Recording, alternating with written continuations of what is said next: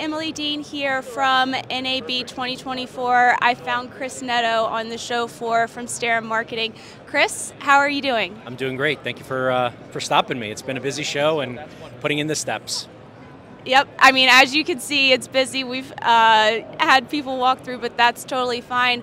Um, Chris, tell me a little bit kind of what you've seen on the show floor in terms of trends, what you're looking forward to, and what just, yeah, your overall ex, uh, general expectations. Well, uh, as an AV distributor, uh, we're obviously here looking at uh, our equipment and stuff like that, but the side benefit to it is that we're running into our uh, uh dealers and integrators. Uh, they're all here as well.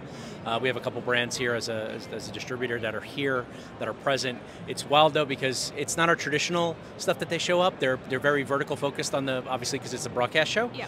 but it's interesting to see because typically we get more of the, the UC conversations on, on the on the Pro AV side, and to come here and see their bigger breadth pro products has been pretty wild. But um, I'm searching. I love looking in the back nine, as they call it, like looking for the small companies because there's always a great story to be had of the small company that kind of comes from the back and works to the front. Uh, and we see that obviously at InfoComm, uh, and to see them here maybe in a smaller booth and moving out. Um, couple of the trends that I've seen, um, one of the things that we're starting to see a lot more from our integrators is the use of broadcast in the corporate environment.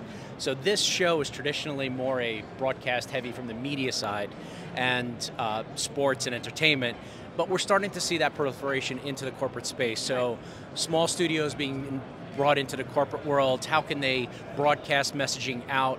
What the pandemic had taught us is that video is acceptable, the next generation is all wanting to see the video. Right. So we're seeing products, a lot of it is coming back to a very easy to use format, not as super critical, a lot of buttons and switches. That's what I went to school for. That's not what you see now. Software based solutions, when it comes to that, are everywhere.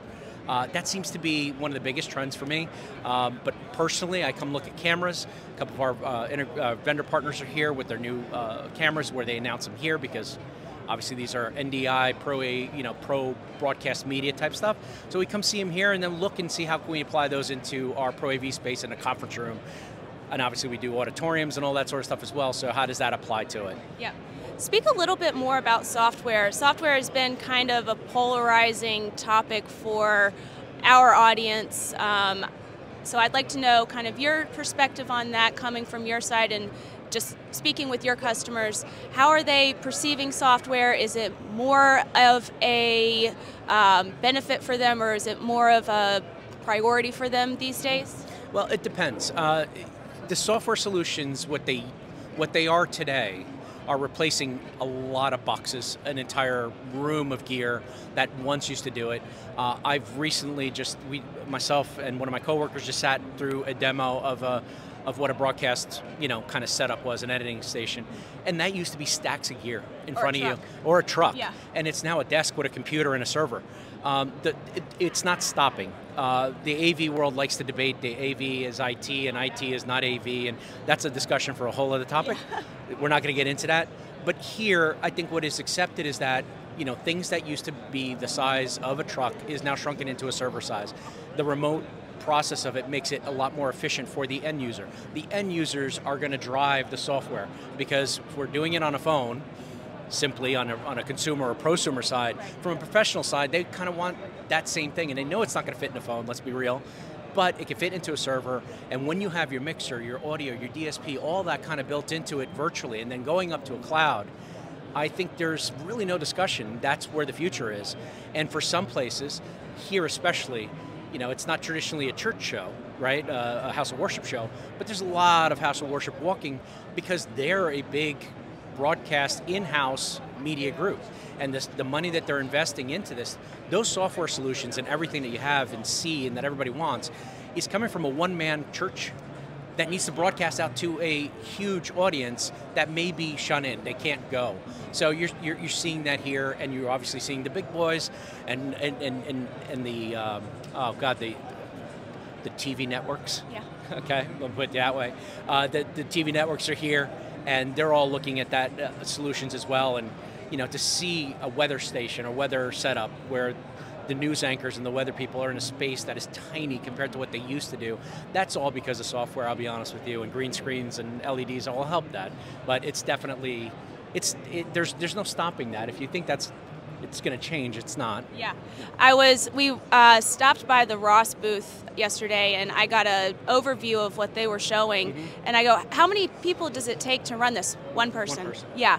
So I think it's two if you want if you, if you want an extra set of eyes on it. That's pretty right. much it. Yeah, but it can be one person, and it can be super compact, or it can be as big of a setup as mm-hmm. kind of the studio or the customer wants it to be. But right. yeah, I think you're exactly right that that's the future of where it's going. Any other future trends that you've seen? Uh, the beauty of being uh, a hardware uh, distributor, and we also deal in the services side, is we're watching the improvement of stuff. Existing technology does improve. One of the things that we're starting to notice is that the glass on the on the cameras are getting better.